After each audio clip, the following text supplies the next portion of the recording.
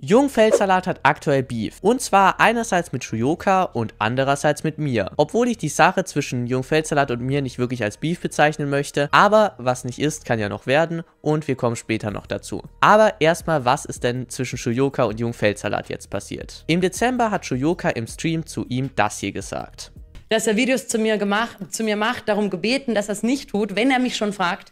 Ich habe privat gesagt, bitte tu es nicht. Und das haben die meisten auch einfach mal so geglaubt. Schon ganz schön wild, wenn man darüber nachdenkt, dass es eine Aussage von Shuyoka ist. Aber es war einfach eine willkommene Aussage, da man diese ganzen Streamer nicht mehr tragen konnte, die auf Krampf jede noch so absurde Äußerung von Shuyoka verteidigen mussten. Und es fühlte sich einfach gut an zu wissen, dass diese Leute nicht mal mehr den Rückhalt von Shuyoka haben. Allerdings scheint die ganze Sache doch nicht so ganz gestimmt zu haben.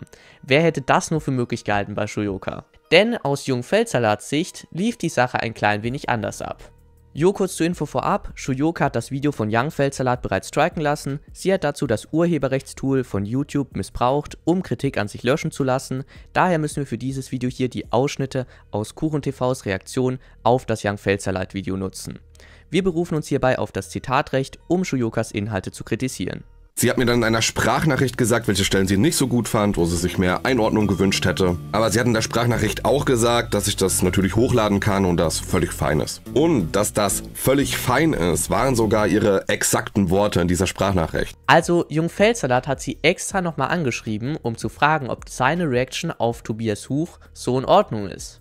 Und abgesehen davon, dass ich das mega unnötig und unselbstständig finde, dass man irgendwie einen anderen Creator anschreiben muss, um zu fragen, habe ich das hier gut gemacht, ist das absolut mehr, als er hätte tun müssen. Und ich verstehe absolut nicht, warum Shuyoka ihn jetzt nochmal namentlich in ihrem Stream fronten musste und ihn dafür kritisieren musste, dass er absolut mehr getan hat, als er hätte tun müssen. Aber sie stellt es ja eben auch ganz anders dar. Also das Problem ist jetzt, dass Jungfeldsalat angeblich eine Reaction hochgeladen hat, obwohl sie gesagt hat, dass er sie nicht hochladen soll.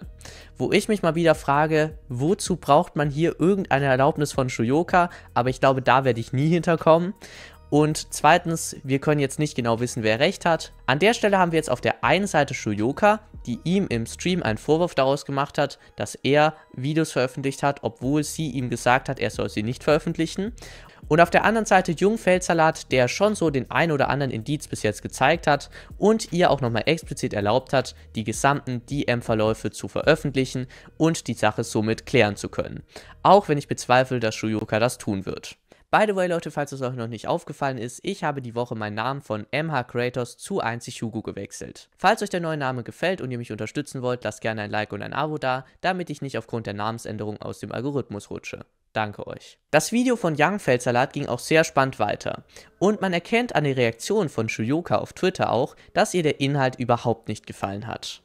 Punkt. Jungfeldsalat veröffentlicht private DMs aus linken Safe Spaces von Flinter-Personen, um ein paar lächerliche Klicks auf seinen YouTube-Channel zu bekommen, mit folgenden Tags. Shuyoka, KuchenTV, Tobias Huch, Montana Black, Monte, Pia Scholz. Na und Shuyoka? Also, wo ist dein Punkt? Wo Problem? Und was die Privatnachrichten aus linken Safe Spaces von Flinter-Personen angeht, geht es wohl darum, dass Young Feldsalat zu einer Zeit, als er damals auf KuchenTV reagiert hat und KuchenTV dann ein Video gegen Young Feldsalat gemacht hat, von einem gewissen Discord-Server gekickt wurde, mit folgender Begründung.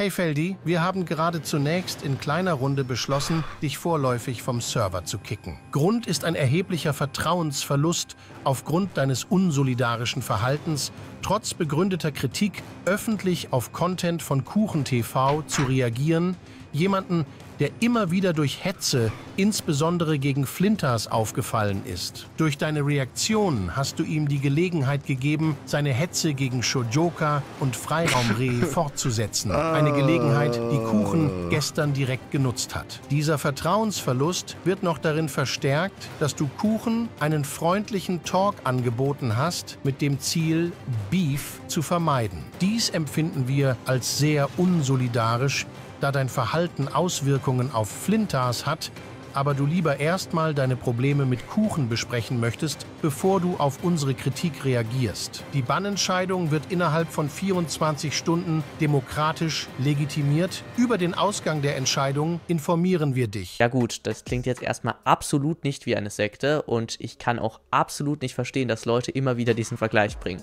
Aber ernsthaft mal, Young Feldsalat soll von diesem Server damals gebannt worden sein, weil er auf ein Kuchen-TV-Video maximal kritisch reagiert hat, KuchenTV sich diese Reaktion angeschaut hat und Young Feldsalat KuchenTV daraufhin ein Gespräch angeboten hat, um die Situation zu klären und nicht dafür zu sorgen, dass es weiteren Beef, also Content gibt, also quasi noch um Shuyoka zu entlasten. Und dafür wird Young Feldsalat jetzt auch noch von diesem Server gebannt. Sehr cool auf jeden Fall. Aber Shuyoka macht auf jeden Fall auch mal wieder sehr gut weiter. Und seine Mods haben dann eine, ja. oh mein Gott, die scheiß Shoyoka und du gehst ihm halt auf die Nervenkampagne auf öffentlich, also öffentlich gefahren, während er mich privat ignoriert. Soweit erstmal das, was Shoyoka gesagt hat.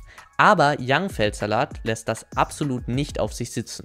Hey, sorry, aber wo, wann und wer? Ich habe mit meinem Team gesprochen und wir sind alle Interaktionen, die wir finden konnten, komplett durchgegangen. Die eine Hälfte besteht aus Dialogen rund um ihren schon kontrovers diskutierten Artikel Ist vegan rechts und die andere Hälfte aus Solidaritätsbekundungen. Ich finde schon alleine wild, dass er sich dafür überhaupt rechtfertigt, weil an sich kann man sich ja im Chat über Shuyoka unterhalten. Solange da jetzt keine Beleidigungen dabei sind oder Wüstenunterstellungen, ist das erstmal vollkommen in Ordnung.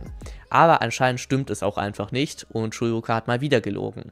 Ähnlich wie bei dem Vorwurf, dass er sie viel zu häufig thematisiert hätte, was halt nach seinen Angaben bzw. Einblendungen auch nicht stimmt. Aber kommen wir jetzt mal zu meinem aktuellen bzw. zukünftigen Beef mit Young Feldsalat. Er hat nämlich vor kurzem auf mein Gespräch mit Gregors Politik reagiert und dabei einige echt wilde Aussagen getroffen. Bernd, eigentlich mhm. Björn Höcke. So offensichtlich ja. ein Faschist, wie er kommt in der Politik. Der alles sagt, außer ja, ich, Haha. Also ich würde, ich würde sagen, ich, ich, ich habe von ihm noch nicht genug gehört, um ihn, um ihn selber als, als Nazi zu bezeichnen oder Neonazi. Hugo, du bist doch ein politischer Creator. Wie kann man denn nicht wissen, wie kritisch Björn Höcke ist, Digga? Also, come on, Hugo Hopp, ey. Wem biederst du dich denn da an, Digga? Das verstehe ich jetzt überhaupt nicht.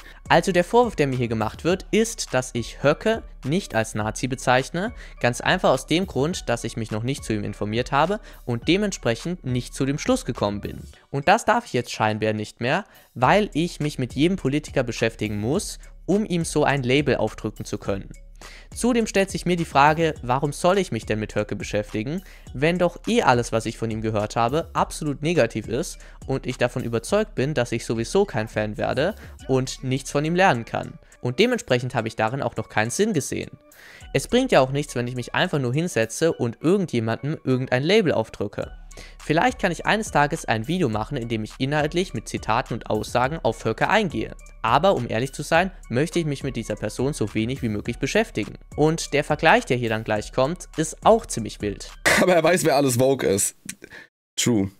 True, ne? Du hast, ja, okay, das ist tatsächlich ein guter Punkt, Coco, ne? Also muss ich wirklich sagen, so. Ähm, einerseits setzt sich Hugo natürlich hin und sagt, der und der und der und der, das sind die Woken, das ist die Vogue-Bubble, ne? Die sind definitiv so dieses vorgefertigte Bild, äh, einer Gruppe, das ich jetzt einfach mal so pauschal einordne. Auf der anderen Seite, ja, aber ob Björn Höcke jetzt wirklich ein Nazi ist, das, also da muss man ein bisschen vorsichtig sein. Ja, sehr, sehr guter Vergleich auf jeden Fall, da es ja auch qualitativ auf dem gleichen Level ist, jemanden als Vogue oder als Nazi zu bezeichnen. Also ernsthaft mal, Vogue ist sogar noch eine positive Eigenschaft, da es im ursprünglichen Sinne etwas absolut Gutes darstellt.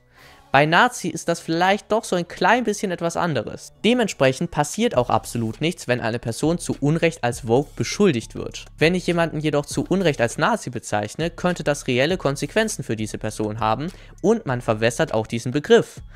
Dementsprechend ist es etwas anderes, wenn ich eine Person versehentlich mal als Vogue bezeichne, die es nicht ist, als wenn ich jemanden versehentlich als Nazi bezeichne.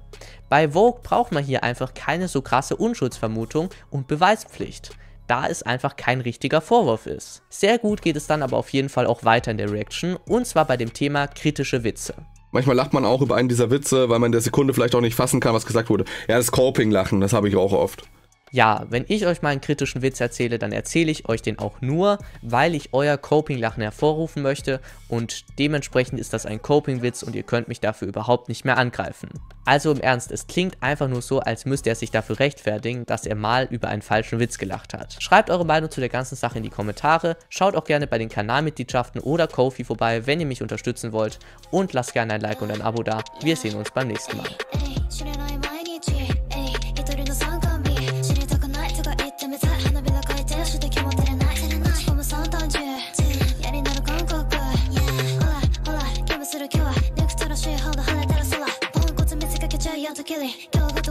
Wenn er mich schon fragt,